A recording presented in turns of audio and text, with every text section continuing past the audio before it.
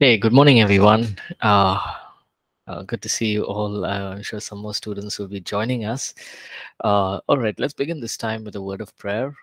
Um, Vega, uh, would you mind leading us in prayer, please?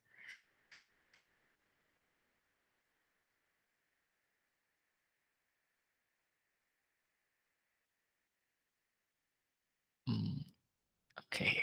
Uh, what about uh, Suhasis? Uh, Subhasis? Uh, are you around? Okay. Yes. Okay. No problem, Vega. Thank you. Right, go ahead.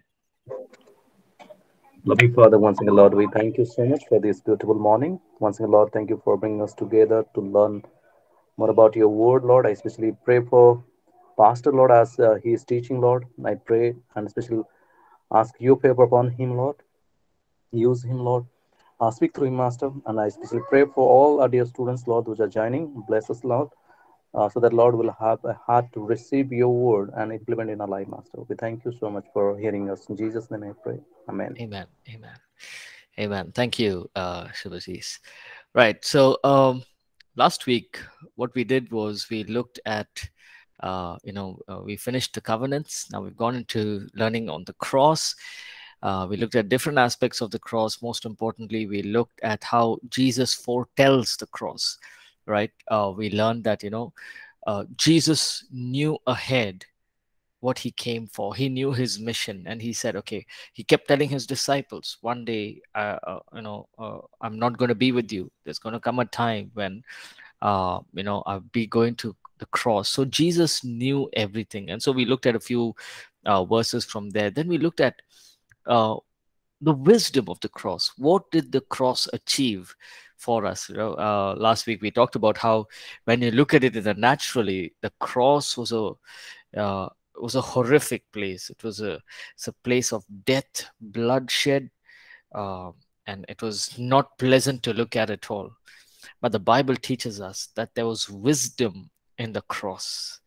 It was it was a victory in the spiritual realms, right? In the natural, the, the Pharisees, the Sadducees, the Romans thought okay uh, we have you know probably defeated this man and everything's going to end. But in the in the spiritual there was victory. Colossians chapter 1 says he disarmed the principalities and the powers of darkness on the cross right? And we saw a few uh, important points last week on substitution and how god was a substitute for man right? And the meaning of substitution is instead of in place of in behalf of and a substitute of right? So the lord jesus when he was on the cross it was actually in our place right? And when god the father sees us he sees us through the eyes of jesus right and that is so wonderful right uh, do we sin do we fail yes but the loving heart of the Father is that He sees us through His Son Jesus. And He sees us as justified. He sees us as already cleansed. And so we looked at how the, the whole aspect of the first Adam and the last Adam, uh, and how the atonement that is what the Old Testament, the high priest would go into the Holy of Holies once a year this time, the Lord Jesus did it once and for all. So the atonement, the price, complete price was paid. Right?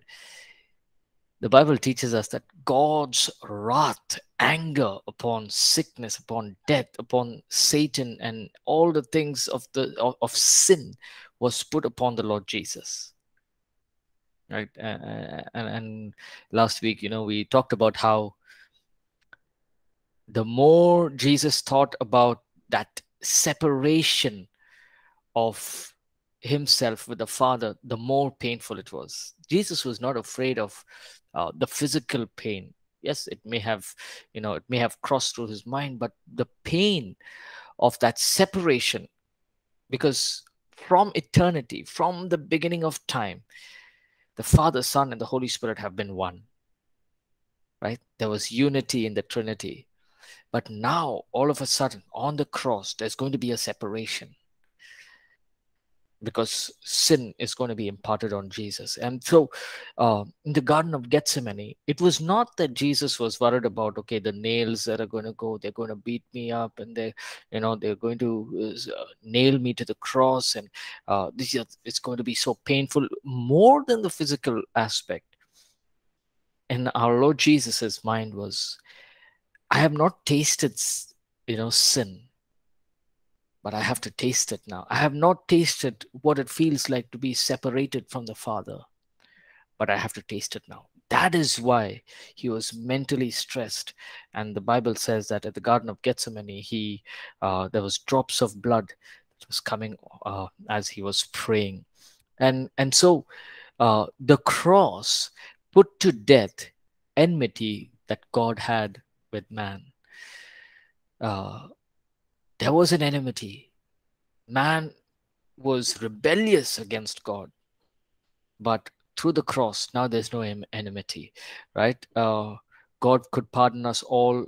Uh, he he he made redemption for us, and then uh, what he did was he took us from that place of being sinners to a place of being justified.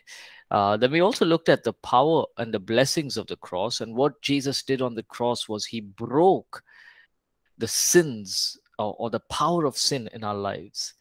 Now, uh, let me add this, right? The power of sin in our life has been broken. Now, will there be temptations? Yes. What is it that you and I, as believers, must do? Right? We must tap into what Jesus did on the cross. What did he do on the cross? He nullified or he annulled the power of sin over our lives. So there is no way that we can say, you know what, I could not overcome that temptation, or you know, uh, I, everyone in this world are sinning, so everyone are you know doing these things, so even I'm doing it. Or everyone are uh, drinking or smoking and doing all these bad habits, watching uh, wrong things, speaking bad words. So even I can do it. Uh, there's no way we can say that because as believers, Christ has broken the power of sin in our lives. So we cannot live in that anymore, right? Uh, on the cross, Jesus Christ annulled Satan's power.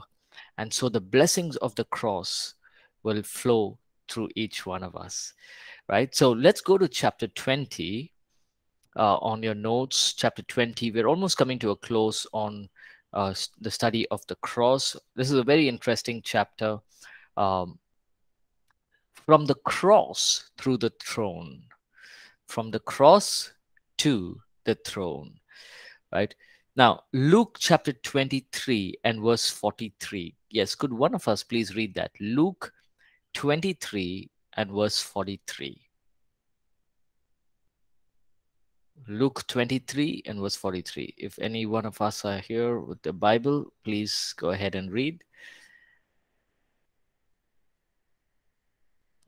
Jafina, if you uh, have your Bibles with you, can you please read? It's okay. Luke 23 43. Pastor, shall I read? Yes, please go ahead. Go ahead.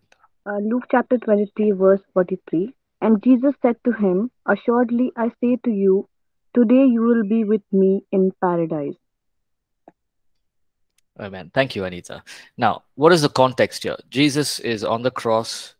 He's he's going to die, and we know the story. There's one who ridicules Jesus, and the other thief who says, "I'm a sinner.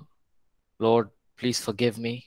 When you enter your kingdom, please remember me. Uh, it was a powerful scene.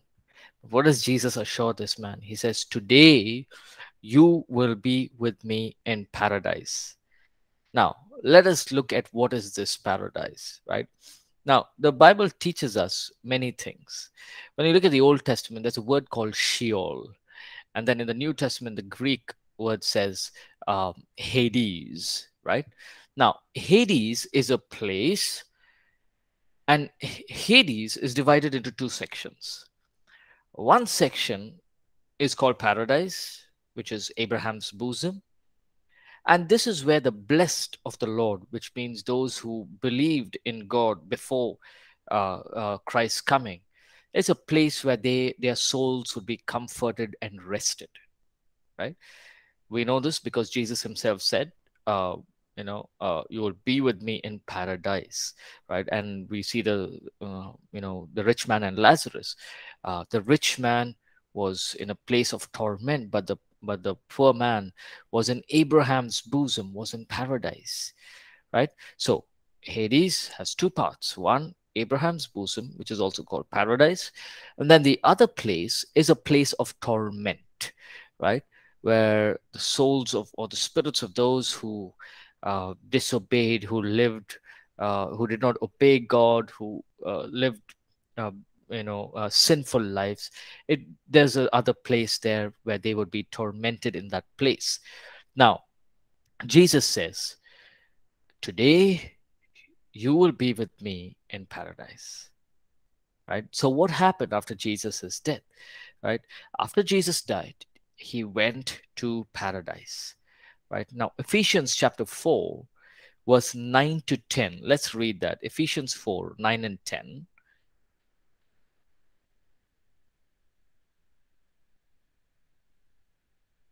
Yes, anyone? Ephesians 4 9 and 10.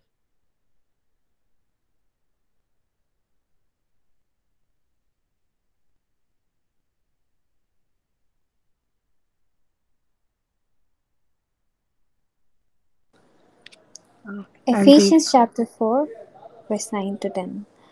What does he ascended mean except that he also descended to the lower earthly regions? He who descended is the very one who ascended higher than all the heavens in order to fill the whole universe. Right. Thank you, Jafina. So here, what did Jesus do? He who ascended, so he went, he descended, he went into paradise, he preached the gospel, he made himself known, and he took uh, meaning he he he let them know. So for example there would have been people who are in the old covenant who are there that's their resting place. He preached the gospel to them right? And he led them captive. So jesus so uh, he goes he uh, after his death he goes to paradise. He lets them know. Now what about the place of torment Jesus in his ministry kept saying there's going to be those who disobey, there's going to be a lake of fire, and they will be thrown into the lake of fire. So, right now, there's not much spoken about this place of torment, uh, but we do know in the book of Revelations, we see that death and Hades will give them up, which means what? The the hades himself that place will give up those who are uh, you know who died without believing in god. And then in later on in the book of revelation says they will be judged in the great white throne judgment and be thrown into the lake of fire. Right? But now where is jesus now? Jesus this whole place of Abraham's bosom in paradise. He has led everyone and taken them up to heaven. Right? What does Paul say? Paul says, to be absent in the body is to be present with the Lord. Paul also says in his testimony, he says, I went up to the third heaven and I saw things and I heard things which are inexplainable. So he went up to the third heavens, right? So, since the ascension of Christ, right? The Lord Jesus, what did he do? The first thing, he he went into paradise. He preached the gospel. He led the captives, and now they're in heaven, right? Uh, so I hope everyone understood this, right? So Hades, there's two parts. One is Abraham's bosom, called paradise, and then there is one place called um, uh, a, a place of torment. Now, about the place of torment, we know that there's going to be a lake of fire where at the end in the book of Revelations, death and Hades will give them up and they'll be thrown into the lake of fire after the judgment. Now, what is something interesting here? On the resurrection morning, right, when the Lord Jesus resurrected, uh, let's read John chapter 20, 15 to 17. John 20, 15 to 17. Yes, go ahead. Anyone? John chapter 20, 15 and 17.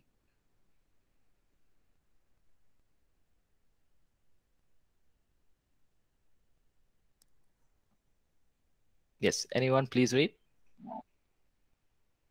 John 20, chapter, verse 15 and 17, Pastor. Yes, 15 to 17. Yes. Okay, it says, John 20, chapter 15. It says, Jesus said to her, Woman, why are you weeping? Whom are you seeking? She surprised, she surprising him to be the gardener, said to her, Sir, if you have carried him away, tell me where you have laid him, and I will take him away. Jesus said to her, Mary. She turned and said to her, Rabboni, which is to say, teacher. Jesus said to her, Do not cling to me, for I have not yet ascended to my Father. But go to my brethren and say to them, I'm ascending to my Father and your Father, and to my God and your God. Amen. Yes. Amen. Thank you, Lubega. So we see here the Lord Jesus is resurrected and uh, Mary is there, Mary Magdalene, and she's uh, she looks at Jesus and she thinks, okay, he must be a gardener. And the moment Jesus says Mary, she recognizes Jesus's voice and she tries to go and cling on to Jesus. But what does Jesus say? Uh, in verse 17, Jesus said to her, Do not cling to me, for I have not yet ascended to the Father and to my God and to your God. Right? So, what is happening here? Jesus has resurrected, but he has he's telling Mary, Don't cling on to me, because I've not yet gone to the Father. Right? I have not yet ascended to the Father. Now, eight days later, from this moment on, eight days later, all the disciples are gathered, and there's the doubting Thomas there. Many of them came during those eight days. Many of them say, You know, we saw Jesus, we saw Jesus. But Thomas says, No, until I see him, until I touch his wounds and touch his side, I will not believe. Eight days later, all the believers, uh, all the disciples are together, and Jesus appears to them. Let's see what happens. John chapter 20, 26 to 28. Yes, let's read that. John chapter 20, 26 to 28. Okay, I'll read that.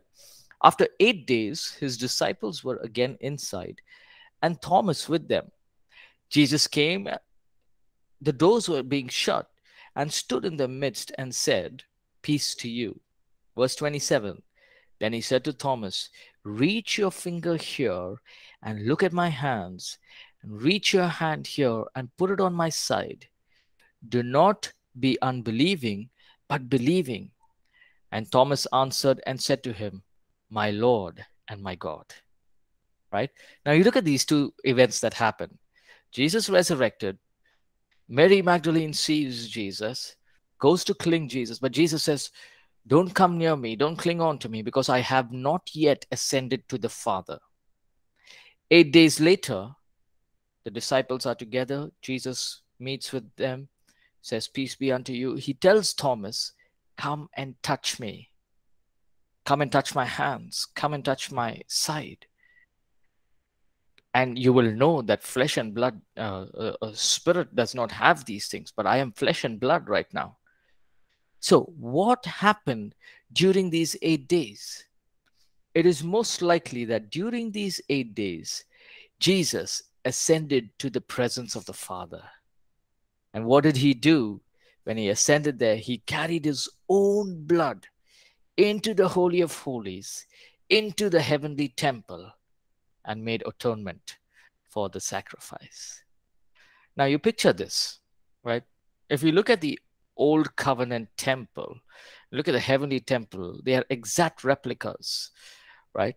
Now, in the Old Covenant, we all know, right? We studied it, where the high priest would take the blood once a year, pour it on the altar, and say, Lord, this is atonement for the sins of myself and for the sins of my people, the nation of Israel. Now, what does Jesus do? He goes to the Father, into God's presence. He takes his own blood and makes atonement. Isn't that powerful? Uh, the Son of God, he came down from heaven, lived this perfect life, died as a, uh, you know, died on the cross as a convict, yet God raised him from the dead. He takes his own blood and sheds it and shows it to the Father and says, I have made atonement.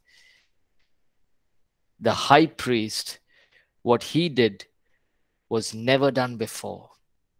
Having entered once, once for all, the price was paid. Jesus doesn't have to come every five years to be and show the blood to the father to remind the father, Father, look, uh, you know, it's been quite some time now. I hope you remember the sacrifice that I made on the cross. No, he doesn't have to remind him. You know, he, Jesus doesn't have to say, okay, every 500 years I have to remind the father. No, the price was paid once and for all. The high priest through the offering of his body and blood, opened the way so that we all can enter the Holy of Holies. Remember the Old Covenant? God didn't let everyone, all the Israelites, to come in. No, there was a restriction. You got to stay in the outer courts, come in near the inner courts, but you cannot go into the Holy of Holies. But now, because of what Jesus did, we can, you know, uh, enter in. So between those eight days, Jesus went up, most probably. He went and he offered his blood. What did he do after that? Acts chapter 1, verse 3, he showed himself alive. Let's read uh, 1 Corinthians chapter 15, verses 3 to 8. 1 Corinthians 15, 3 to 8. Yes, any one of us, please read. 1 Corinthians 15, verses 3 to 8.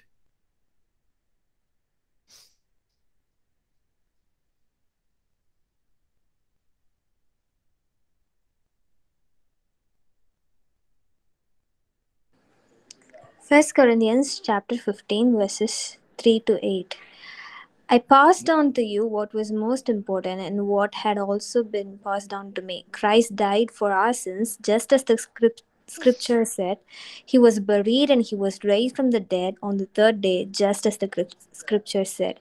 He was seen by Peter and then by the twelve. After that, he was seen by more than 500 of his followers at one time, most of whom are still alive, though some have died. Then he was seen by James and later all by the apostles. Last of all, as though I had been born at the wrong time, I also saw him. Yeah. Thanks, Efina. So, he showed himself alive right?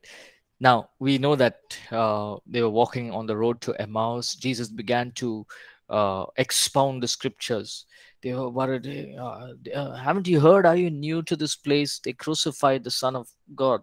Uh, they crucified this man named jesus. He claimed to be the messiah. He did these wonderful miracles. He healed the blind. He healed the lepers.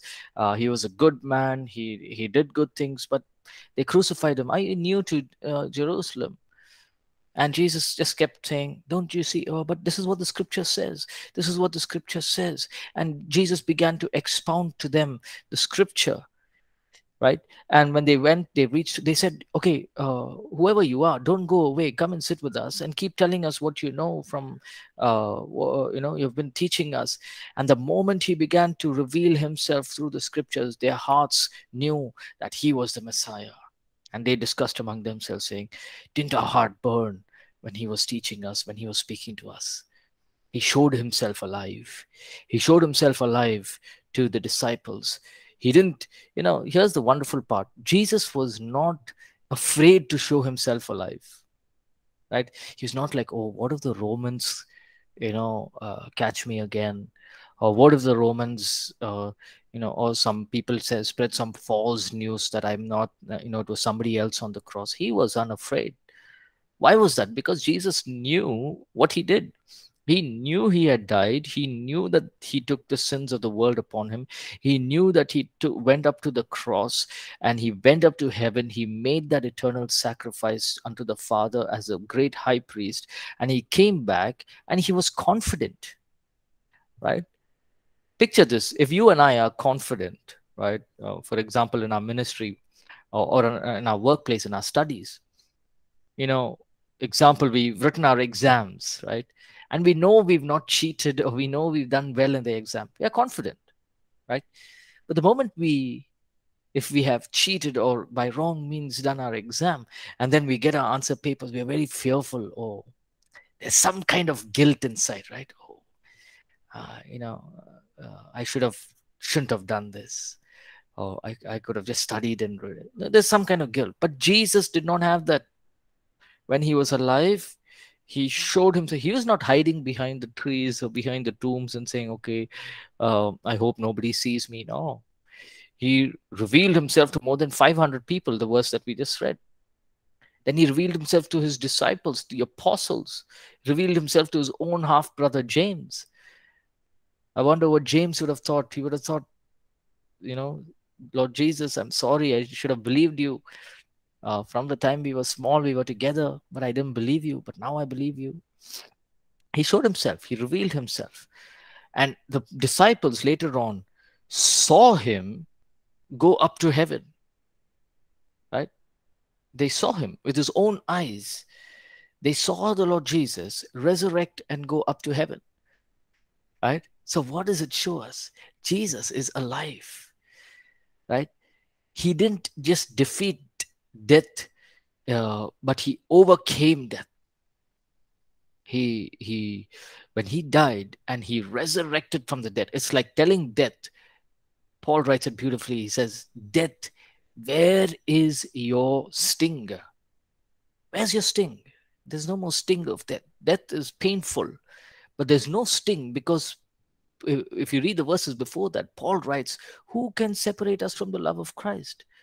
Neither angels nor demons nor uh, uh, any barriers. Nothing can separate us from the love of christ. Is there going to be a natural death? Yes. But the lord jesus is assuring us that you will be alive. You will live. Right? The lord jesus his physical body was you know transformed into this glorified body. Right? The same thing is going to happen to us when you read the book of revelations our spirit in, uh, is going to rejoin with our spirit and we'll get a glorified body. Right? Can recognize each other. They recognize jesus. And he showed himself alive.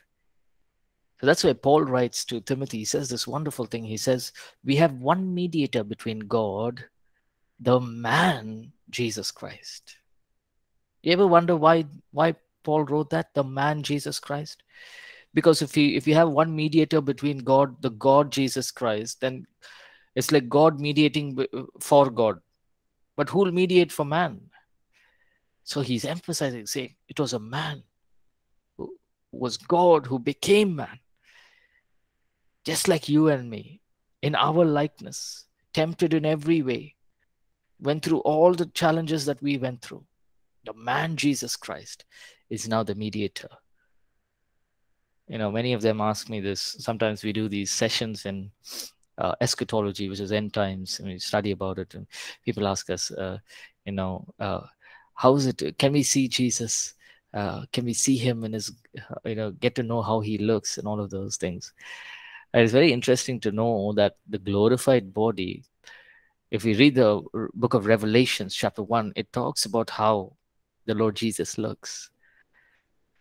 Right? It says that when John he's writing this, he he looks at this in the vision, he sees Jesus and he sees the glorified Jesus. He says his eyes were like blazing fire, his hair was white as wool, his feet like burnished grass, and out of his mouth came the double-edged sword. And when John, the disciple who would always put his head on Jesus's bosom, all through the three and a half years of his ministry, when John saw that, he fell at Jesus' feet as if dead. Because the glory of God was revealed in him. right? And so, right now, he has ascended on high. No more is Jesus, you know, this poor little lamb, you know, just walking about. Oh, uh, who was, you know, uh, yes, he is the lamb, but he's also the lion. No more is Jesus meek, meaning he's no more, you know, uh, uh, like what he was before. He's gone back to the Father in all his glory. And that is a great assurance for all of us, right? That you and I, as his believers, people may say, This man is dead and gone. Jesus was crucified. He had a humiliating death. He's dead and gone. Let's carry on with our lives. Nobody's going to believe him. But here's the truth you and I, as believers, when we receive the Lord Jesus, when we believe in the work of the cross, we are his children. We will see him in his glory. That's a, that should be our assurance. Death is no longer a stink. Yes, uh, it's painful to lose a loved one, but we have this hope that we will see each other again. That death is not the end. So that's wonderful. Right now, Jesus is seated on the highest throne. Let's read Acts chapter 1, verse 9 to 11. And somebody else can also read Mark 16, 19. Right. Acts 1, 9 to 11. Yes. Could anyone please read?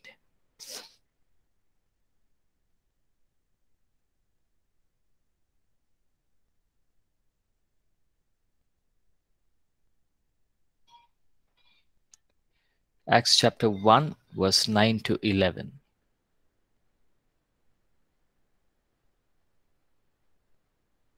Yes, go ahead. Anyone?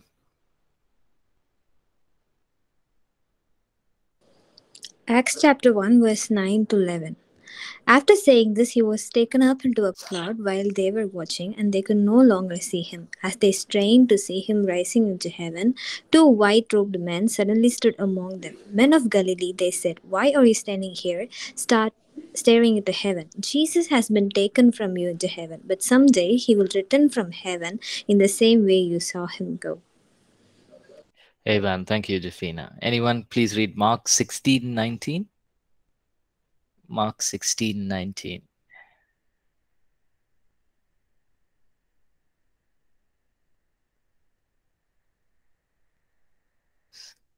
So, so then, after the Lord had spoken to them, he was received up into heaven and sat down at the right hand of God.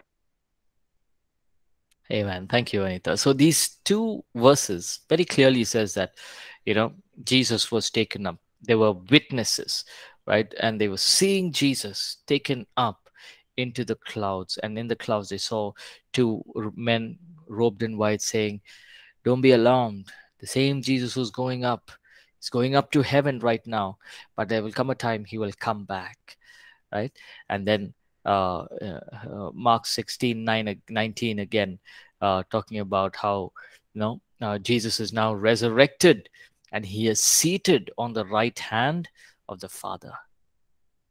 And the Father does something wonderful. He says, Now all power, all dominion belongs to the name of Jesus. That at the name of Jesus, every knee shall bow and every tongue confess that he is God.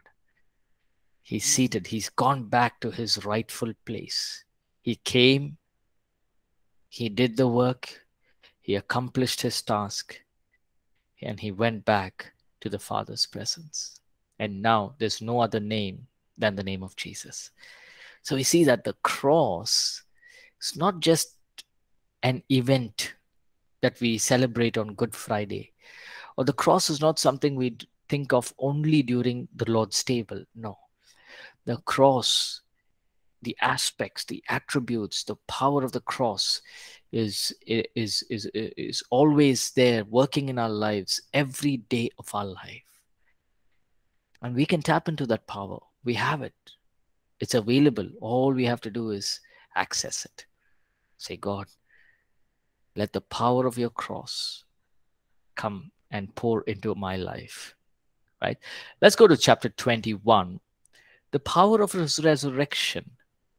Now, one of the greatest testaments of uh, testimonies of uh, to the resurrection of Christ is the fact that Jesus still works in our lives and still working miracles all across the world. What happened if Jesus died? He didn't resurrect. It would have been just uh, another good story of a great prophet who came and died. But Jesus resurrected. Now, what happened if Jesus died, resurrected, and didn't do anything after that? It's like, okay, I came, I did my work, and now I've resurrected, I'm gone back to the Father. No. We see that the greatest testimonies of the resurrection of Christ is that his power is still working right now, you know, where there are miracles happening all across the world you know when we when we look at history we see wonderful ways that the lord jesus the word of god the, uh, the power of the name of jesus has healed people has delivered people. Um, and when we look at the early church and you look at even now across the world right this this gospel is bearing fruit. Can you picture this the disciples are 12 of them. And jesus is telling the disciples go and preach and you will be preaching to all across the nations across judea across samaria across the world and all the whole world will come to know about what has been done to mankind. Now picture the disciples. They were thinking oh my god we can't travel more than 100 miles away from Jerusalem. How is it that this gospel is going to reach all across the world? Okay, Judea, Samaria, okay, we can manage. They're around us, we and they know about, uh, you know, they have seen uh, Jesus and they've seen the miracles that he has done. Okay, they may believe. But how about the world? Who's going to go to Greece? Who's going to go to uh, these other countries, Asia, Europe? Who's going to go there? The African continent? Who? How is it going to go across the world? But when you look at it now, the gospel has spread across the entire world and it's going to continue to spread and god is going to continue to work miracles why because his resurrection power is working in amongst us it's not like he's resurrected and gone and now we have to do all the work no his power is working resurrection power of the early church. We've seen uh, there are a lot of examples but remember peter and john they go to pray and they met this lame man. The lame man says can you please give me some money? And he looks at peter and john's hands supposing that they were going to give him some money. But peter and john say listen silver and gold i don't have but what I have, I'll give to you. In the name of Jesus Christ of Nazareth, rise up and walk. Right? Can you picture that scene? Which Jesus Christ of Nazareth? The one who was crucified? I'm sure that lame man would have uh, thought of that. The one who died between two criminals? Yes, that same man. In that name, the resurrection power of Christ, in that name, rise up and walk. Now, this man had two choices. He could have said, I'm not going to get up from that. You know, he died as a criminal. I might as well, I'm a good man. I'm just begging. I'm asking for alms. I'm not a criminal. But this man took the other option and he said, Okay, I believe in that name. If you want me to stand, let me try and stand. What happened? Peter and John helped him stand. He rose up from his bed. He took up his mat and he walked. Where was Jesus that time? He's in heaven but his resurrection power is working. Right?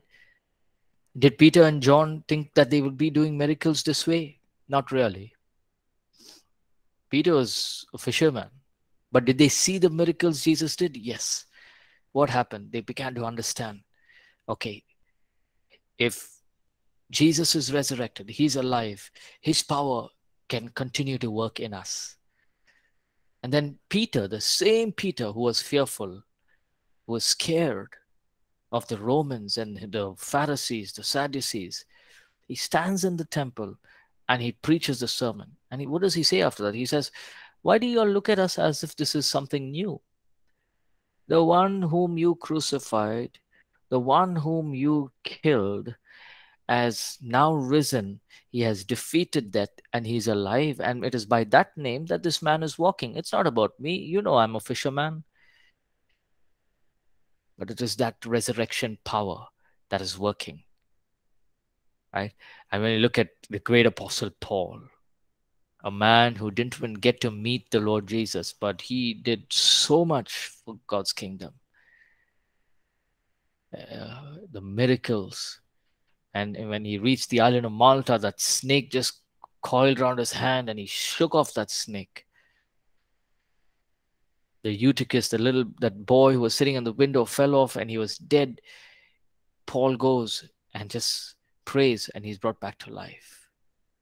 Many, many, many testimonies. Even now, the resurrection power of Christ is working the resurrection power is the best part is it's not available only for the 12 disciples. Jesus didn't say only you 12 you know you are the ones who are with me during the 30 you know three and a half years. You were the one with me so i will pour it out to you alone. No. First it was the 120 people in the upper room. Then from there it went on. It just spread out. Thousands and thousands of people all believers the resurrection power of God is exerted on all of us as believers. And it is the same power that raised Jesus from the dead can give, grant us power to work miracles. Right? And so when we, as believers, really think about this cross and what Jesus achieved on the cross, right? Our whole understanding changes. The resurrection power through the holy through the power of the holy spirit has been made available for each one of us. So what is the enemy doing against you? What is he doing? He's bringing circumstances bringing challenges bringing fear doubt anxiety failure hopelessness suicidal tendencies anger jealousy pride all of these are the works of the enemy right now, there is power that is available through the cross, through the Holy Spirit. The, the power is available in us to stop the work of the enemy in our lives. It's available, but we have to use it. Right? There are many testimonies that I can share about people who have been addicted to drugs for many years and in a moment they have given it up because of the resurrection power of Christ. There are people who have been blind, deaf. In a moment, the power of God has touched them. And what they couldn't do for years or from their birth, they were able to do it. And this resurrection power is available for all of us. All of us have that. Right? Yeah, you don't have to wait to become a pastor. You don't have to wait to become an evangelist, or let me wait till I start my ministry. Uh, let me wait till I start prophesying. No, you don't have to wait. It's made available. Now, the key is that we must draw from it. If I want to hear God, what must I do? If I want to hear what God is speaking to me, yes, I can read His word. What, what else I must do? If I want to have a relationship with somebody, the most important thing to do is to talk to them. And prayer is what? You're talking to God.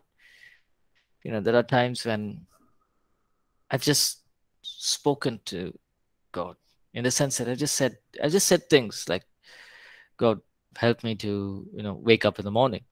Or God, help me to, you know, I'm going to go now. You know, I'm just having this relationship with the Holy Spirit. Uh, Holy Spirit, I'm going now. Um, if there's somebody on the way that you want me to minister to, show me, lead me to the right people. Or uh, Holy Spirit, uh, I'm feeling very tired. Now, can you give me some strength? I need your strength. I'm feeling physically tired, mentally tired. I'm feeling weak. Holy Spirit, just give me strength. You know, sometimes we look at, you know, prayer as a place where, you know, you have to close the door, lock the door, kneel down, uh, and you have to pray. Yes, there's a place for that, but our God is a God of relationships. Right? He understands. Right? Uh, sometimes I, uh, you know, I, I'll be playing the guitar and I don't get a chord, and I keep saying, God, what do you think the chord can be? You know, it may sound silly, right? I try figuring it out. Finally, I'm, I may get the chord, right? Would have been some random chord. So you and I, Jesus teaches us. He says, uh, "My sheep hear my voice." Are we His sheep? Yes. Then we must hear His voice. But why? Why is it sometimes we don't hear? Because we have built a wall. The Lord has not built it. We have built the wall, a wall of sin around us. And so the Holy Spirit or Jesus is speaking to us from the other side, but the wall is obstructing and we're not able to hear. The Lord Jesus is saying, uh, Why don't you do this? But there's a wall there in front of us. We're not able to hear. We need to break that wall of sin. Only then we are able to hear what the Lord Jesus is speaking to us. What is important is also knowing His power knowing the power of his resurrection and unlocking it in our lives right and i'm sure all of us know his resurrection power has experienced his resurrection power through many areas in our lives um, and we continue in that continue to grow continue to have faith trust god that he will you know continue to move in our lives right so it's so wonderful uh, what jesus did on the cross for us all right let's take a break uh, of 10 minutes. We'll come back at 11 o'clock and uh, we'll do a little more on the next chapter. Let's take a break.